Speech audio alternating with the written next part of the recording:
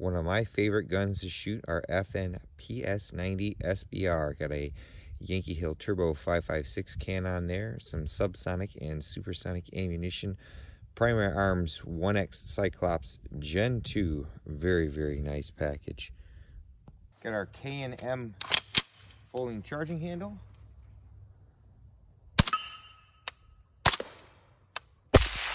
That was a super. Super. Super.